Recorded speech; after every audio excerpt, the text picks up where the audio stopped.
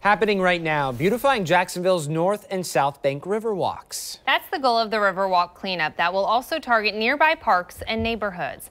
News4JAX reporter Maggie Lorenz joins us live this morning with how you can help. Good morning, Maggie.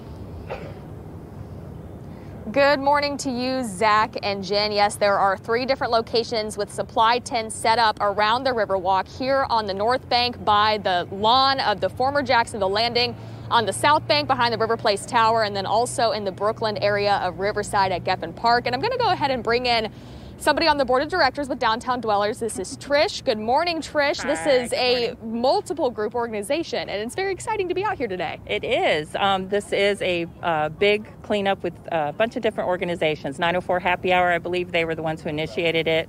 Uh, we're also working with the city of Jacksonville and Downtown Vision, and then our organization, of course, is Downtown Dwellers.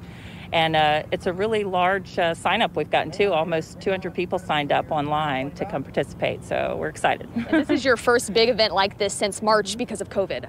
Absolutely. Um, the downtown dwellers, we were doing some cleanups periodically uh, before that, uh, but just with much smaller groups. So it's nice to be collaborating with all these other organizations and doing a much bigger event. And I think uh, everybody's looking for activities, especially outside.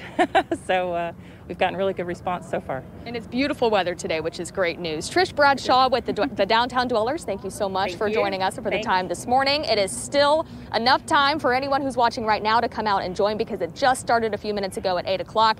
It will run through 10 o'clock this morning. Zach, Jen, back to you guys. Oh, Maggie, looks like a lot of fun out there, and people are being safe. Thank you so much for that.